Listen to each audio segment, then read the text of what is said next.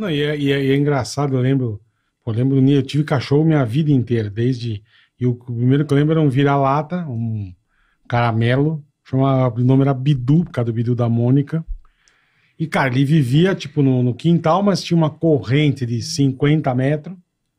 Mas ele não ficava solto, né? Mas era assim, tinha a casinha dele e tal. E comia o que a gente comia. Não tinha ração. Fazia arroz, minha mãe fazia, sei lá, língua, os negócios do boi, aí pi- picava e dava pra ele com arroz. O cara viveu 17 anos, Sim.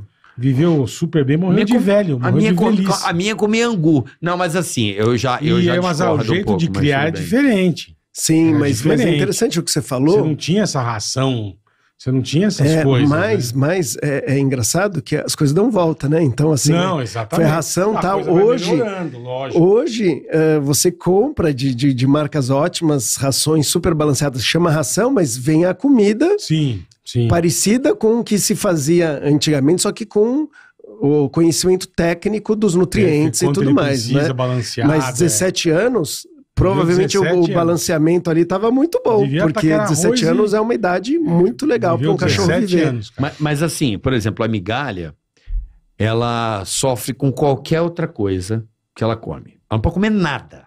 Nada. Sim, mas tá nada. acostumada com ração desde Não, jovem, não, né? mas não, claro, mas ela É. comia, sempre dava pedaço de carne. Pô, normal, todo mundo dá um negocinho pro cachorro. Um agrado. A migalha, ela não se encontrava, então ela passava mal, tinha que levar. Não, e tinha Ela tinha detalhe, o meu, meu diarreia. era vira-lata, né? O dia que eu raça, né? implementei a ração que ela usa, que ela inclusive tem uma ração que ela usa, eu falei, pô, se eu botar ela é, é a Birbo, né, que é a ração dela. Se eu botar, eu vou ter que experimentar. Eu falei pro cliente, falei, ó, beleza, deixa eu ver como é que vai Se agir com o meu cachorro. adaptar, né? Porque, pô, vai que, né? Cara, é impressionante. Depois que ela usou a ração certinha, porque na embalagem tem tudo, a dosagem, tudo direitinho. Cara, Balanceado, né? impressionante como o cachorro mudou pelo, mudou o cocô, reduziu. im- Assim, Sim, e ração só não é, isso. e ração acho que isso é importante, né? Ração não são todas iguais. Você tem rações, Aham. você tem, tem rações boas, ótimas, né?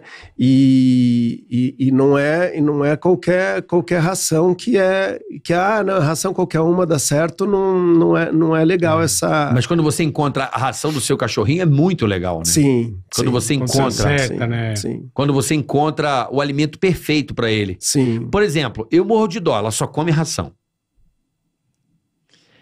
Ela fica com muita vontade de tudo. E a gente não dá e a gente fica morrendo de dó. E aí?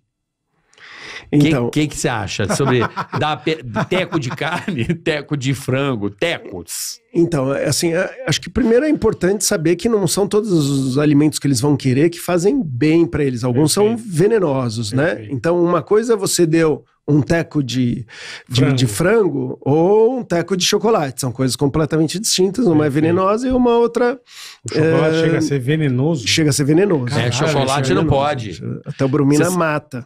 Mata cachorro, mata gato. Você sabia que minha se mulher eles uma vez deu bolo? se eles não passarem mal rapidamente, Puta, é, eles podem. que venenoso. A minha, a minha esposa uma vez deu um bolão de chocolate, quase matou. Não sabia? E aí, pra migalha. Nossa. Mas a gente não sabia. Aí Sim. deu o bolo de chocolate, ela caiu dentro. Bicho, esse- a sacadela passou mal num nível absurdo. Aí a veterinária falou: não pode dar chocolate. Cachorro não pode comer chocolate. Sim. Nunca dê chocolate pro seu que mais cachorro. cara, desgraça. né? Olha, tem uva, alguns cachorros não tem problema nenhum. Outros, eles têm uma falência renal, eles morrem, comem poucas uvas e passam mal. Então a gente tem que ter uma ideia. Cebola eh, também causa, causa, cebola pro cachorro. causa problema. Não, é por causa da comida, o tempero. Sim, vamos, vamos, vamos supor lá que você cebola, fez um pimenta, bife acebolado ali. Ah, você tá comendo e aí, você dá aí você dá aquele resto Entendi, ali da entendi. panela e ele come muita cebola, né? Entendi. Aí ele Caralho, não sabia também. Cebola, alho também não.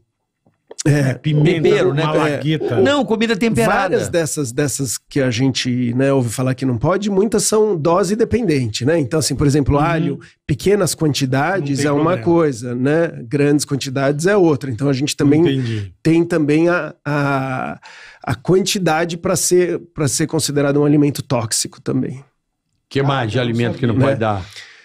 Que a gente olha- come e o cachorro faz o mal danado. Então, olha, abacate, por exemplo, não, não- tem, tem cachorro aqui que passa mal com abacate. É, tem, deixa eu pensar aqui, café. Tem vários alimentos que são venenosos, e que- o que fazem mal, mas normalmente o cachorro não come porque ele não Sim. gosta do gosto. Mas se você põe, por exemplo, leite com café, aí ele, Ele vai, vai tomar. tomar. Do mesmo jeito que chocolate, acaba E o tendo outras coisas, mas o chocolate em si ele geralmente não gosta. Mas o chocolate já é misturado, cheio de coisas que eles gostam, com Mas hoje não gordura. tem, tem uns doces feitos pra cachorro, não tem que ser compra. Tem. Tem, mas aí, mas aí eles não são, eles têm o tudo aroma, o Ah, parece. então você Tá. vai na Páscoa, um ovinho de Páscoa pro cachorro. comprar, acho que raçãozinha, pe- pitisco. Pô, vi que tem sorvete pra cachorro. Sim. Não, tem tá vinho, tem cerveja. Tem vinho. Vinho, vinho, mas aí se sente o cheiro, caralho. vê ali, é, é tipo é caldo de carne com beterraba, sabe? Tá, entendi. então, assim, são, são maneiras de você acabar dando aquele mimo sem Que legal. ter o, ter o perigo de envenenar o cachorro, né? Sim, imagina. Agora, falando, né, o que, que eu acho? Então, você vai lá e vai dar, ah, vou dar um pedacinho de, de, de, de banana, né? Hum. Você tem que pensar no tamanho do cachorro. Então, quando você dá um pedaço de banana, ah, não, todo dia eu dou uma torradinha com. Requeijão. Com, com requeijão. Você tem que imaginar, porque um cachorro do tamanho da migalha é como se você estivesse comendo a sua, uma refeição gigantesca de Depende carboidrato dá, não é. tão nutritivo, e aí depois falta espaço para os nutrientes adequados. Então o cachorro tende a ganhar peso e não ter uma nutrição adequada. Então Aham. a gente tem que tomar esse cuidado, né? É, se for quebrar a dieta, o ideal seria quebrar com coisas saudáveis ou em quantidades muito pequenas e nunca com as coisas venenosas, né?